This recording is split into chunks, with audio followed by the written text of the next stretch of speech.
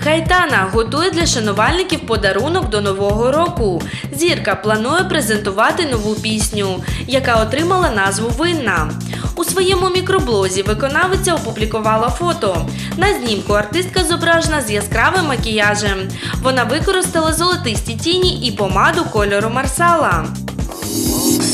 Наталі Портман вдруге стала матусею у лютому цього року, пропустивши через пологи церемонію нагородження Оскар, де її було номіновано за фільм Джекі. Але папараці вже встигли зробити декілька знімків Наталі Бенджаміна та їх діток Амалі та Алефа в аеропорту Нью-Йорка. Пара, що мешкає у Парижі, прилетіла до Америки, щоб разом з друзями відсвяткувати новорічні свята.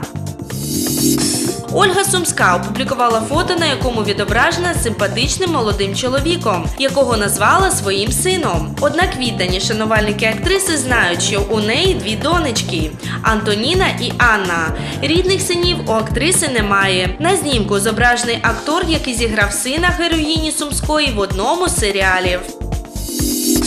Американська співачка Тейлор Свіфт відома своїми екстравагантними подарунками для фанатів. Вона відвідує весілля шанувальників, а також влаштовує чаювання у себе вдома.